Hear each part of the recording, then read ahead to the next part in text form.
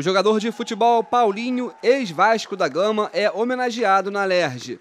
Atacante campeão olímpico nos Jogos de Tóquio 2020 foi condecorado com a medalha Tiradentes, em reconhecimento ao combate contra o preconceito religioso.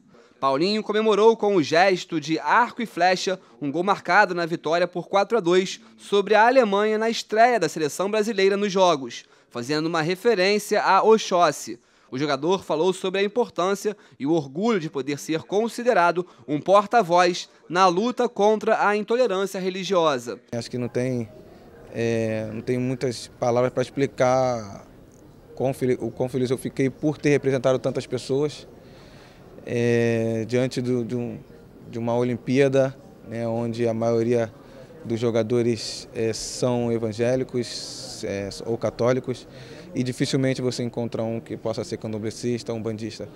Então me sinto muito bem é, honrado e, e, muito feliz com a minha representatividade para essas pessoas que agora é, tiveram coragem também de poder expressar a sua religião da maneira que, que bem entende. A solenidade foi presidida pela deputada Renata Souza, que falou sobre a importância do gesto de Paulinho, que traz luz a um problema enraizado no esporte e na sociedade como um todo. A parlamentar lembrou que o estado do Rio de Janeiro é um dos líderes nacionais quando o assunto é a intolerância religiosa. O ato do Paulinho, além de ressaltar toda uma religião de matriz africana, ele traz uma resistência também contra o racismo religioso. E aí é fundamental para a gente. A gente está no estado do Rio de Janeiro, um dos estados onde há grandes índices né, de violência religiosa. A gente tem terreiros quebrados, quando são incendiados. Então a gente está aqui também nesse processo de construção do reconhecimento a partir de uma casa legislativa. Durante o evento, o vereador do Rio, Tarcísio Mota, também entregou uma moção de louvor aprovada na Câmara Municipal ao jogador. Vascaíno declarado, Tarcísio fez questão de exaltar a atitude do atleta cria do Clube Cruz Maltino, que também traz na sua história o combate ao preconceito. Nesse tempo de intolerância, o gesto do Paulinho, além de ter sido um gesto muito corajoso, é um gesto necessário.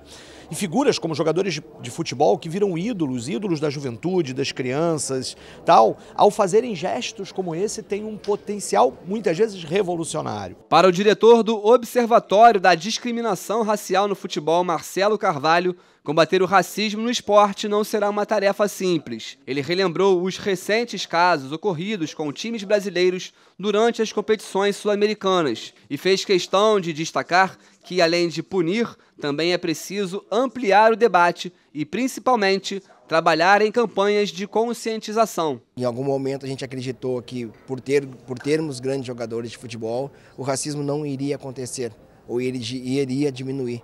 E o que a gente viu é que um problema que a gente nunca debateu, nunca discutiu, ele, ele volta e meia aparece com mais força, como a gente está vendo agora no início do ano de 2022, com muitos casos no Brasil e muitos casos também envolvendo clubes brasileiros uh, na, nas, em competições sul-americanas.